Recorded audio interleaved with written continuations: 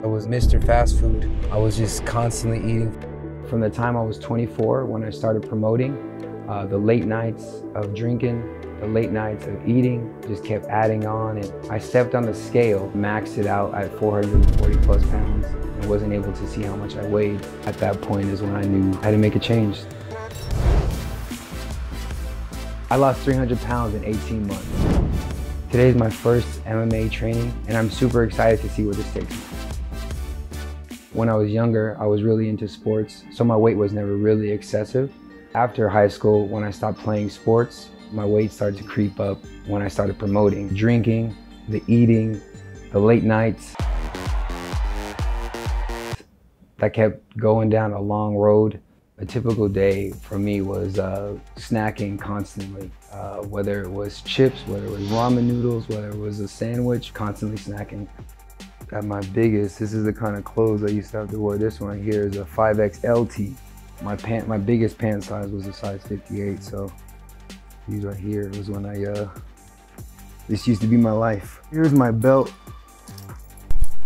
This thing was uh, actually as long as Indiana Jones's uh, whip. I woke up one day and I was five over 500 pounds. I knew I had to make a change and I made a plan to, to start seeing the person I wanted to be.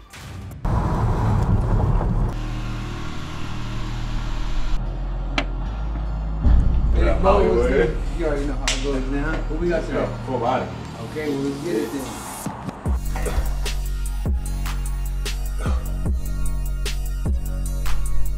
My workout routine has evolved throughout the years. In the beginning, um, it was mainly based off of a strength training. Uh, now it's more so based on technique and uh, being more functional.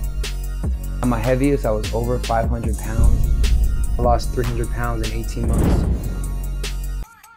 DJ is just super strong, and they've started doing his nutrition, uh, workout program. It's just cool to see him, how, how much effort he put into it, and dedication to himself, really, and belief in himself. You know I'm built different. Ah, I'm built by Bo.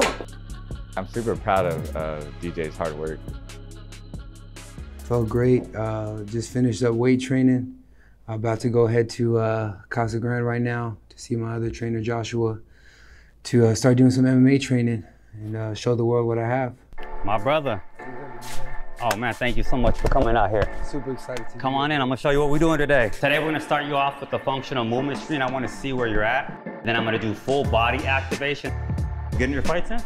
What I want you to do right now is I simply want you to put your pivot on that leg right there and we're switching left, switching. Just worry about the body, don't worry about the arms. Being an MMA fighter has been a has been a dream of mine since uh, my weight loss journey.